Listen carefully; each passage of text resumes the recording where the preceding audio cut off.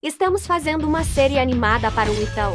E ela acaba de ser lançada lá no YouTube oficial deles. Fiquem com um trechinho da série. Em 3, 2 e 1. Adeus, José Luiz II. Eu sempre te amarei. Que drama!